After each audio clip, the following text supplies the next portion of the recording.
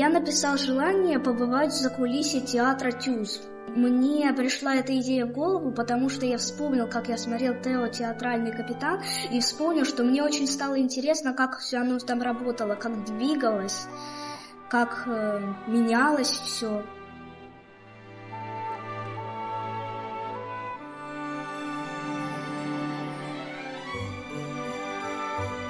В первый раз поговорил с артистами, потому что я сколько хожу в театр, но ни разу с артистами не говорил.